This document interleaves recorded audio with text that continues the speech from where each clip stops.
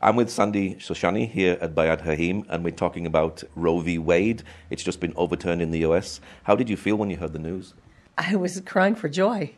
I was absolutely thrilled to see that there are people in the US Supreme Court who have decided that babies are human beings. Mm.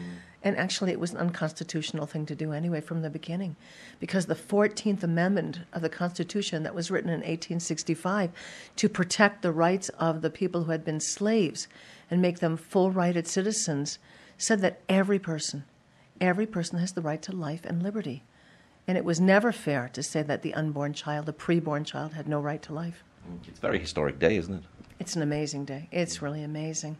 Somebody asked me yesterday, have we gone back? Are we now like going, you know, losing momentum? And I would say that is absolutely not true because think of this. In the Holocaust, was it Hitler doing eugenics, trying to clean a race that was progressive? Or was it the people who were fighting him to save the Jewish people? Mm. You know, who was progressive? Progressive means that we protect. Was Abraham Lincoln primitive? was Abraham Lincoln progressive, saying, let's free and emancipate the slaves? That's progressive. Mm-hmm. Uh, now, Franklin Graham says 63 million babies have been aborted. How does that make you feel? Oh, you're just, you're, yeah, your throat goes to your stomach. It's just appalling that we would kill all those lives. Actually, here in Israel, we are estimating that we have taken the lives of over 2 million babies through abortion. And you know, but the fact is that in the Holocaust, 1.5 million children were killed in the Holocaust. And now we've killed more than 2 million here. And let's say from 1948, we've killed more than 2 million. That means that we've killed generations. Those children would have been grandparents and great grandparents. We have killed generations of Israelis. We would have doubled our population had we not aborted all those children. Do you think it could, it could happen here, where the abortion law could be overturned here? If I think, I don't know. If I hope and pray, absolutely. We're actually, we have written a proposal to the Supreme Court of Israel, which we submitted in March of this year, asking to stop abortion at 24 weeks, which is point of viability in Israel. I know in England babies have been saved at 20 weeks, but here in Israel they won't try to save a baby unless it's at least 24 weeks. Because abortion here is legal till birth and government funded. And so we wrote that proposal, and it was supposed to be answered by May, but then it was delayed to June and then delayed now to July. And I have a feeling that the courts are going to keep delaying and delaying because they don't want to have to deal with the issue. But the reality is that we have to come to terms with what we're doing to our unborn children here. Mm. We cannot continue to take their lives as though they're totally irrelevant. So, a lady, she could be just about to give birth here in Israel, and she's allowed to kill it? She's, yes, she's allowed to kill it. She has to go to a, what they call a superior committee, and it's almost always for health reasons rarely the mothers, although that's what the pro abortionists say the mother's health, but that's very rarely true because you would just take the baby out and not kill it. Mm. At 24 weeks, the baby's a viable person. Mm. And I've actually spoken to doctors about this, and I've said, a pro life doctor I spoke to, and I said, Well, what if the mother has cancer? What are you going to do? And he said, We are going to take the baby out at first opportunity. 24 weeks, as soon as we can save that baby's life and save the mother, we're going to take the baby out. In other words, there is almost no situation where it's life threatening for the mother. And of course, and I hear on the news all the time now, what if it's ectopic? That means if the baby is in the fallopian tube. Well, of course the mother would die the, and the baby would die. That's an impossible situation. Mm. Of course they're going to. That's not called abortion. That's called treatment. And of course, if the baby's heart is not beating in the womb, of course, it's a miscarriage. We're talking about situations where the mother does not need to take the life of the baby, rather, deliver the baby if there's any kind of risk. For example, if you, and I, I say this, and Paul, you and I were just discussing how much we care about the Down syndrome children, how precious they are, and how happy they are. But if you were 38 weeks pregnant, just about to deliver, and you found out your baby had Down syndrome, you could abort in Israel. Mm-hmm. Why? Because the person, that child, has no rights until the cord is cut and the head emerges. It's, yeah. Mm. Is there any way that abortion is okay in your, in your view? No, uh, no. Mm. I mean, when we say abortion, what we mean is to stop a pregnancy when the baby is still viable.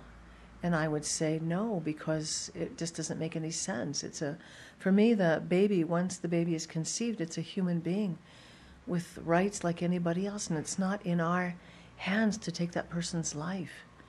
And I dearly, I just want to say that we here at, this is Be'ad Chaim, is Israel Pro Life, we really care about the mothers. Mm. Absolutely. We support them for a year. Well, we support them for a year after the birth, but we also support them throughout the pregnancy. Emotionally and with friendship and encouragement. And then after the baby's born, we support that baby for a year. And there would be no reason to take the life of the baby. As a matter of fact, abortion hurts women. Abortion causes depression. A third of the women are going to have some kind of fertility issue. Abortion is not in the best interest of the woman. And this is something that nobody talks about. Women need to be listened to. Women need the right to know the facts and not pressed by a man, by her bank account, by her so called friends in the army. She doesn't need to be pushed into having an abortion. She needs to be listened to and cared for and supported. So when they say abortion is health care, it's actually worse for the, for the mother. It's not healthy for anybody. Mm. It's gonna. It could cause her depression. It could cause her to start drinking more.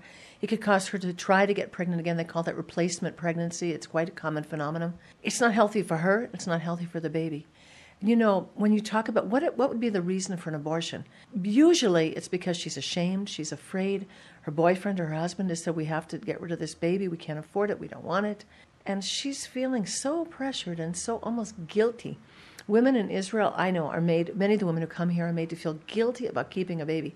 Somebody said to me the other day, Why would you bring a baby into the world who's not going to have a good life? And I'm like, How do you know who's going to have a good life? Who, what, a, what a comment is that? I mean, my husband, when we married, was a student. And according to the statistics, you know, the legal numbers, we were under the poverty level. But so what? We were not unhappy. We were thrilled. We were a young couple, and he was a student. It wasn't about money, it was about life quality, which was very good. You know, there was nothing. Someone said to me recently there's a big difference between being unhappy and miserable and not having money. I mean, money comes and goes, honestly. I mean, I think many people know that um, Steve Jobs' mother was a student in college when she got pregnant with him and she was told to abort. And then look at what happened to Steve Jobs. You know, he. The same with Cristiano Ronaldo as well. Yeah, so many, so many, you know, and, um, you know, Tebow, the football player, his mother apparently had some kind of disease when she was pregnant with him, and they told her your baby will be handicapped, and he became this famous football player. You know, so many times. And you know what? Even I do have a close friend who had a baby and he was handicapped, but that child turned that mother's life around. He caused that mother to stop drinking. He caused that mother to take responsibility for her life. And she says always, that child is now in his 20s, and she says, This is the best thing that ever happened to me. We cannot judge who's going to be happy and who's going to be unhappy. That's, that's just ridiculous. And we don't know what our life situation is going to be. I might be a single woman now, and in five years, I I don't know what, you know, I discovered the cure to AIDS. I don't know. We don't know what life is going to bring. When is there a heartbeat? A heartbeat. Uh, the heart starts beating 22 days after conception. It's heard, and we always hear in the news it's only heard at five to six weeks. That's true because that's when the doctor or the ultrasound technician is able to hear it. But indeed, it's beating already at 22 days after conception. And if you look on the internet, and I would suggest to anybody listening, if you don't believe me, just look on the internet. Look baby development and listen to this fact. When a woman is trying to conceive and she becomes pregnant, she always says, I'm pregnant with a baby. I'm so excited. I have a baby. She never says, I'm pregnant with a fetus or an embryo. Come on. Mm. But if she wants an abortion, she always says fetus or bunch of cells or embryo. She never says baby. But it's the same. It's the same individual. The, the person inside her womb is the same person. The heart is beating. You know, at, at eight weeks, every organ is there. At 10 weeks, every organ is functioning. At 12 weeks, the blood is flowing and everything is there. At 16 weeks, that baby is the size of my palm with eyelashes and little bits of hair in his head and the beginning of fingernails. We are talking about human beings. Uh, now, you're asking women not to have an abortion. Is there more that the church can do to support ladies caught in this difficult situation? I'm actually not asking, don't have an abortion. What I'm asking is, let us help you. Mm. Let us support you. And your question is absolutely appropriate because the answer is support those who are in trouble. A lot of people make mistakes, and I think we can think right back to the Bible about King David that he slept with Bathsheba. He made a mistake, but his next mistake, of course, was killing her husband. And then the baby died, as we all know. Let us support those who are in trouble and not condemn. And I have to say this, you know, there are many young women, or even not so young women, women maybe in the church who are divorced, who have made a mistake, who have slept with somebody out of wedlock, they get pregnant, and they're just so ashamed that people would know. Let us not do that. Let us support them and encourage them and say, you know what? You made a mistake, but we're here for you. And I'll share a story with you. One of the women in her 20s in our, in our we say here in Israel congregation, she became pregnant out of wedlock. And I was actually trying to encourage her to walk with the Lord, but she was having a hard time. And when she became pregnant, I told her, listen to me. I, I don't tell people what to do, I just encourage. But in this case, I'm going to tell you that this child is going to save your life. Mm. This baby is going to bring you closer again to the Lord. He's going to help you to figure out why you're here. He's going to bless you. She gave birth to that little fellow. And the day she came back to our congregation with a big belly, I ran around. I'm a pastor's wife, and I ran around to all the women of the congregation whispering encourage, love, support. And this precious woman, the congregation made, made her a baby shower. Mm. And she's now a godly, godly mother. I thank God for that. Wow. Yeah. What does the Bible say about the unborn? you can go everywhere in the Bible and see it. It's so clear. Psalm 139 I made you in the womb. I formed you. I knew you before you were there. I had your days ordained. Precious in my sight is your life. In Jeremiah, he says, I knew you. I called you to be a prophet in the womb. But really, you can go. I mean, Isaiah and Paul himself says, The Lord called me even before I was born you can look, but, but the best, the best is really what is so clear is John in his mother's womb, in Elisheva, we say, in, in Elizabeth's womb, when Jesus comes in inside Mary's womb, and of course, Jesus is just in his you know, first trimester there in Mary's womb. She walks into the room and baby John leaps in the womb. Mm. And what does that tell us?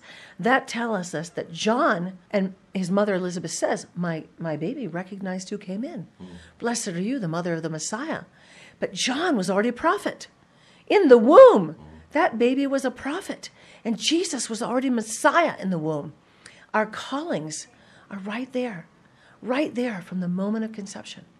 So it may be an accident to you and me, but it's not an accident to God. Oh, God has. He says, I have predestined you and known the plans I have for you from the Yisodot, from the foundation of the earth. I have good plans for you. And you know, every baby was so what? We don't know his life situation when he comes into this world. But God, but God can just turn around our lives and turn us into something so amazing. God has good plans. And you know, I've, I've watched handicapped children, and some, because their parents are disappointed and hurting, the children are bitter. And some, because the parents raise up that child to be everything they could possibly be, are just delightful, rejoicing human beings.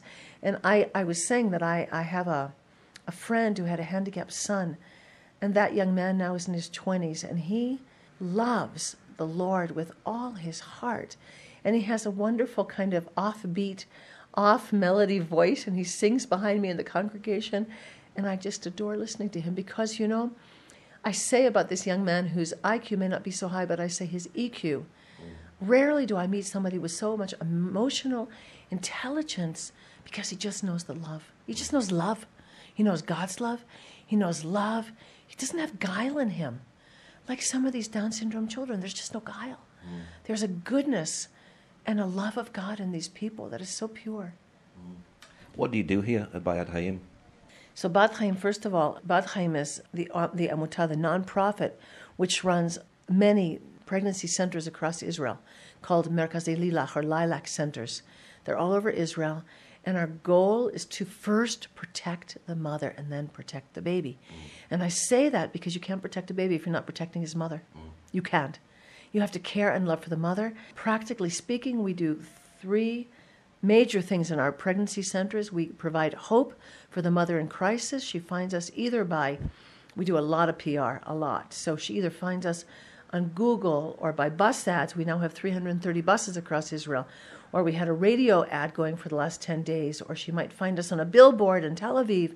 She might find us on Facebook or Instagram. I mean, we're just everywhere so that women in need will find us. Mm. And the first thing we offer is hope. Sweetheart, you don't have to abort. I know nobody's listening to you. Your boyfriend's ashamed. Your father's ashamed. We are listening to your heart. You want to keep the baby? We're going to help you do that. And so, what we offer is also practical help.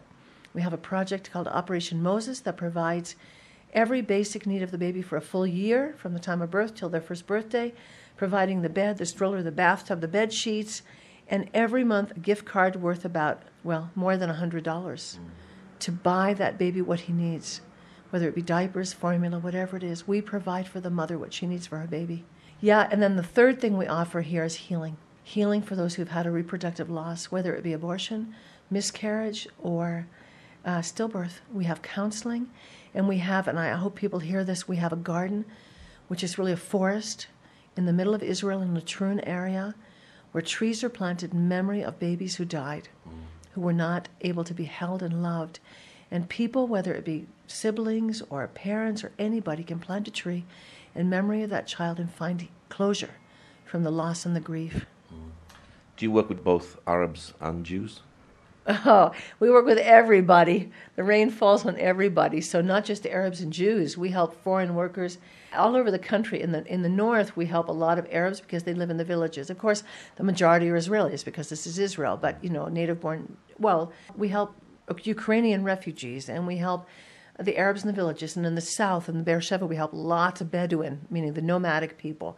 In Jerusalem, we're helping lots of Eritrean and Ethiopian refugees. In Tel Aviv, we're helping a lot of foreign workers down at the in the poor areas of the central bus station. We help everybody because everybody is created in the image of God. Do you know how many babies you've saved? Oh, hallelujah. Since we started the Operation Moses Project in 2006, we've saved over 4,000 babies. Wow. Right now, because it's exponential, I mean, the first year it was 14, then 40. Right now, we're helping, I can't believe it, 750 women with their babies. Some are pregnant, some are after birth, but 750. So our team is constantly expanding and growing and being very challenged to the hilt. I keep adding more staff, but it's never enough. Yeah. Yeah. Do uh, mothers love to come back here years later with their child and show you what their child is like at this particular point? Sometimes they do, and it's a great, great joy. One time, um, a woman phoned me. She said she'd seen one of our staff on TV talking about our work, and she said, My daughter who's seven, saw her photograph in your office and said, Mommy, why are my why is my baby picture in their office? And the mother wisely said to her, When I was pregnant, I was alone and I was in big trouble, and those people held me with you. They provided everything I needed. And that little girl was in first grade when she phoned. Wow. I just am thrilled to know that we have saved all those lives. So, anybody listening, can they sponsor a mother to help that mother keep her child, keep her baby? Yeah, you're most welcome to look us up on the internet. It looks like Bead Chaim, B E A D C H A I M, Be'ad Chaim. Look us up on the internet. You're welcome to sponsor a mother. You're welcome to donate any amount. You're also welcome to help the girl in your neighborhood not to have an abortion. You're welcome to encourage her. You're welcome to help the new single mom in your neighborhood. You're welcome to help the couple who's struggling with their marriage and they just had a baby and they're falling apart. Help them in your churches, welcome them, encourage them, make them baby showers, give them baby supplies. And also, I just want to say if you have lost a baby, God is the God of love and forgiveness and healing. And we also plant trees for people that are abroad. If you'd like us to plant a tree in the gardens of life for you, we'll send you a beautiful certificate it's really lovely, and um, it's a painting by the the Galilean artist Amy Sheethreet. And you can put the baby's name there on that certificate, and we'll tell you that we planted the tree, send you photographs of the tree being planted, and our prayer hostess will pray for you for healing. So you are most welcome to find healing through our ministry. I just want to say that we care about people. This is a ministry which is compelled by the love of God. And when people tell me you are against women, I, it deeply grieves me because I love women. Mm. And when people tell me you're against abortion, I don't like to say I'm against. I like to say I'm pro God, pro life, because we care about the lives of the mother, the child, and her family. We care about people. Mm. That's what God says. His heartbeat, you know, the heartbeat of God is like this people, people, people, people. And that's what our, that's what our heartbeat needs to be. Why do you do what you do? I do it because of the love of God. I don't have a choice. I um, when they offered me this job in 2005, I said no, and then I um, I came for a meeting anyway with the chairman of the board, and he he said, "Why don't you want to do anything about abortion?" I said, "It's so unpopular. People will be angry with me, which they are. You know, it's hard to talk to people about abortion." And he said, "You love Israel?" I said, "I love Israel." He said, "You need to stop the shedding of innocent blood on the land." And he gave me a bunch of books and films, and he said, "Study. Come back in a month." And during that month, the Holy Spirit spoke to me Proverbs 24 11 and 12. Rescue those being led to slaughter. Do not say you do not know, for the Lord will consider your heart, and he will render to each one according to what he has done. And the Lord said, You don't have a choice. And He showed me myself like an ostrich. And He said, You can do something or stick your head in the sand. What's it going to be? And like, remember, Mordecai said to Queen Esther when she said, I could perish if I go to the king to save the people. I could perish. And he said, You know what, Esther, God is going to save the Jewish people either way. If you want to take a part, go ahead. And the Lord said to me, Do you want to take a part? And I can say, Paul, it's been not an easy journey, but highly rewarding and a privilege to see the lives that we've saved, the lives we've rescued, and the mothers who are so deeply grateful, who had weighed abortion and then realized that they could get help and support and chose life. What's your website again for people who'd like to know more? It's beadchaim.com. B E A D C H A I M dot com. Okay, Sandy, thank you very much. God bless, and I hope that each one of you is deeply encouraged today.